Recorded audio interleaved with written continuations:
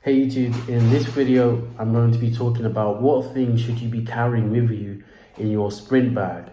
And it's probably going to be one of the shortest videos ever made um, but it's probably the most one of the most important ones because carrying the right things in your bag can be beneficial or detrimental to you towards you. And this isn't just um, when you're training though most of this is training, but it's also for when you're competing as well, because you want to make sure that whilst you're training, you bring the same you bring the same things you would in in competition to training, so that you don't have the problem of going to your competition and you're like, oh no, I left this, and there was something that you did relating to a ritual you have that you left because you tend to try and bring different things to different things for training and different things for competition.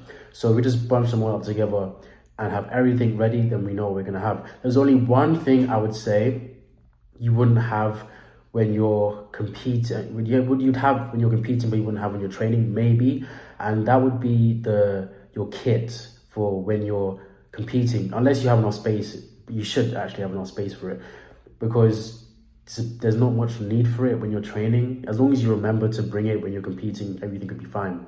So let's just start off with that. Number one, um, your kits that you wear when you go competitions. The size of your bag should be duffel because as we go through, you're going to realize we're going to be having a lot of things in our bags if we're doing things right. So a massive duffel bag would be a great place to start. And make sure your kit's in there. So it's easy if you put it in there anyway, because you don't have to forget about it. And unless you have to wash it, you're not gonna have to wear it any other time unless you're deciding to wear it to go look at yourself in the mirror or something. I don't know. But other than that, yeah, that's that's that. Two would be your sprint spikes. Obvious, you're going to sprint, so you need to wear your spikes. Uh, other than that, also for your spikes, you can run into a lot of problems with your spikes. So it's essential, it's essential that number two would be, or three, I guess, make sure that you have actual spikes to put into the shoe uh, as well as a tightener. So I would say if you're really going to go all out, make sure you have two types of spikes. Um, the normal spikes that your comes with your shoe, spares for that. I mean, spares for that. So that's just the first type. Then the second type would be indoor spikes. I'm pretty sure they're called Christmas tree spikes. Because if you're going to go to an indoor meet, you're gonna have to switch spikes. So I went to my first indoor meet um, this year. Uh, what ended up happening was I had to buy spikes because I didn't have the right spikes. They they really would not let me go onto the track and compete if I didn't have the right spikes. So I had to pay something like eight pounds, maybe even more, for when I could just got them from Amazon for like four pounds because I didn't have the spikes. So make sure you you have your spikes. It will save you a lot of time, stress, and money. Other than that, massage gun. Massage gun, I believe, is very important. It's important for when you're warming up. It's important for when you're cooling down. If you can get a massage gun, invest in one. I think massage guns are very powerful. Or if you're not going to get one, get a foam roller, which you should always be packing. If you have a massage gun, I'd still recommend you still pack a foam roller. And if you don't have a foam roller, um, but you have a massage gun, buy one. But make sure it's a small one, because if you have a massage gun, there's not much need for a massive um, foam roller. You can still have a massive foam roller if you want, but a more moderate sized, tiny one, about maybe this big, would do you better. Other than that, um, you have two options here. You can either have a camera or you can have a phone. If you really want to go out, you can. I guess you can have both, which would mean just have just have a camera because most likely you're gonna bring your phone anyway. Because if you're gonna go record yourself whilst you're um, training or competing, you need to see what you're doing, and you can't, especially not when you're training, you can't rely on someone else in the crowd recording for you, and then they upload it on YouTube, then you find it. And, it's all, it's all done. You can't do that. So make sure you always have that packed so you don't have to worry. Oh, and that stopwatches. Make sure you have a stopwatch. It's very important because especially if you're going to be doing time trials, you need to have a stopwatch to see how fast you're going. Because if no, if all other people like coaches, they're busy, you're going to have to go to the other athletes to, to get them to time you.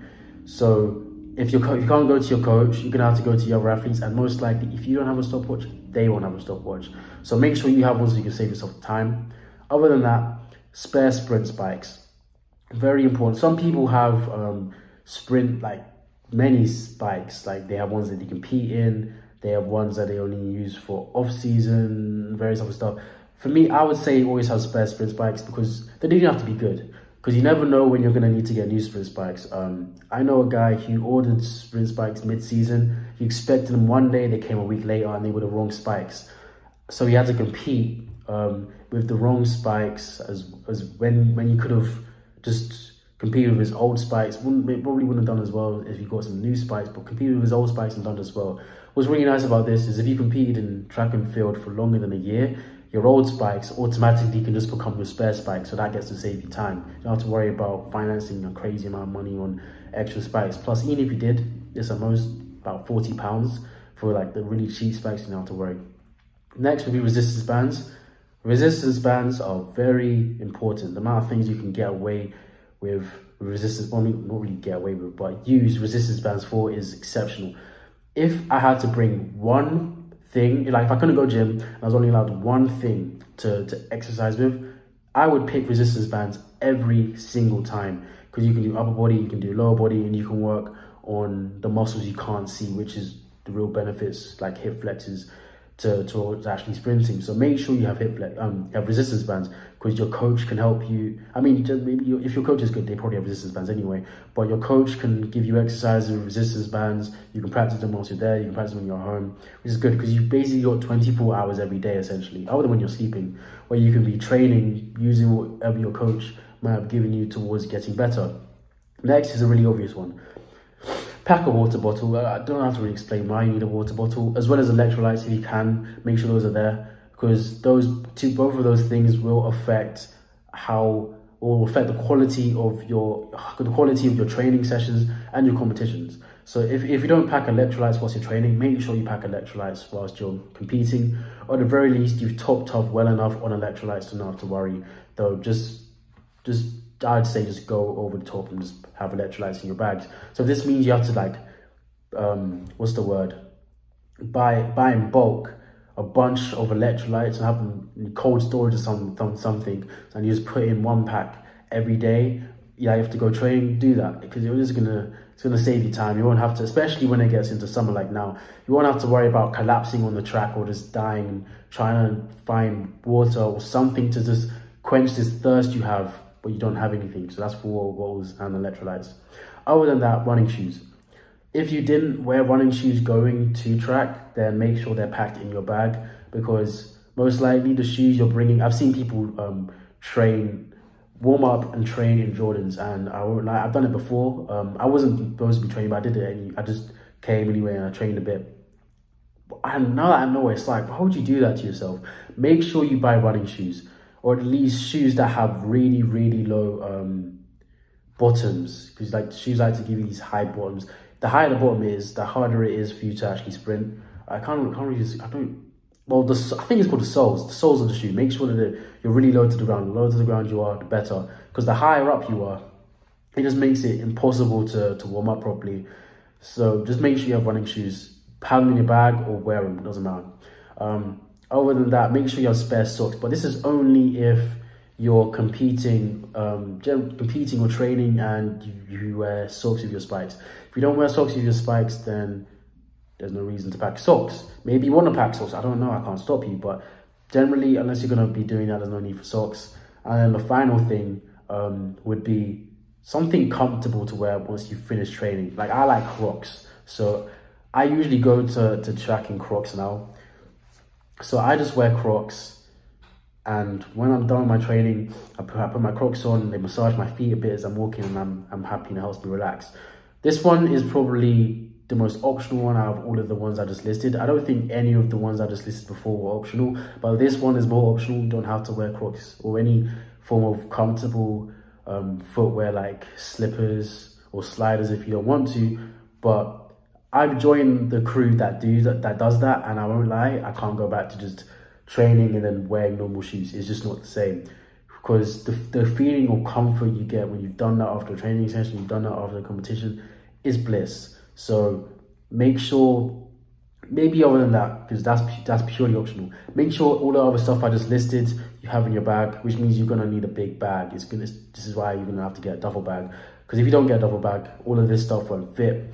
Don't worry if you can't get all of this stuff um, at first. Just make sure you work, actually work towards getting all of this stuff in your bag because once you do, you're going to be able to see the benefit. Maybe not straight away, but the benefits will compound and show themselves throughout the season when you do have all of this stuff because it will make sure that whilst you're training and you're competing, life is Just so much easier. You don't have to, don't have to stress about these other problems. Because all the problems you might have had, you've already packed them in your bag, so there's no need to worry. And as long as you have those, you will have a very happy season from then onwards, as long as you make sure they're always in your bag. If you like my content, don't forget to, to like and share it around. Comment any questions you might have, I'll always respond. Um, I post at 1 p.m. Greenwich Mean Time every two days. So if you don't know what time that is, then just make sure you subscribe and you hit the bell and you'll be notified every single time I post. You don't have to keep checking. Other than that, I also have a Patreon where I upload a blog post related to sprint training, gym training, and plyometrics. And I also, um, if you send them in, I can do sprint me mechanic analysis for you and give them back to you, as well as doing one-on-one -on -one coaching towards sprint technique and helping to develop you in the gym and plyometrics. I hope to see you in my next video.